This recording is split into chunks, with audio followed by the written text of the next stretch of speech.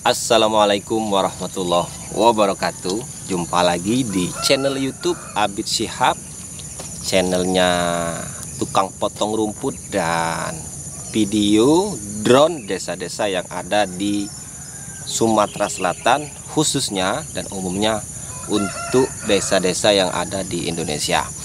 Oke, pada kesempatan kali ini saya akan mempraktekkan penggunaan mata pisau merek Tasco.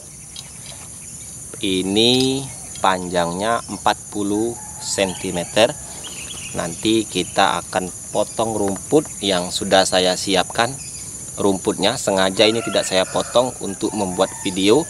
Ini rumputnya tingginya kisaran 50 cm Oke, langsung saja kita praktekkan di rumput. Enak atau tidaknya silakan teman-teman tonton sendiri videonya. Jika enak silakan dibeli mata pisau seperti ini.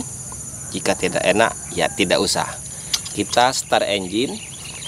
Pada video kali ini saya menggunakan mesin potong rumput dua tak atau dua stroke 32 cc merek Tabata kita start engine ya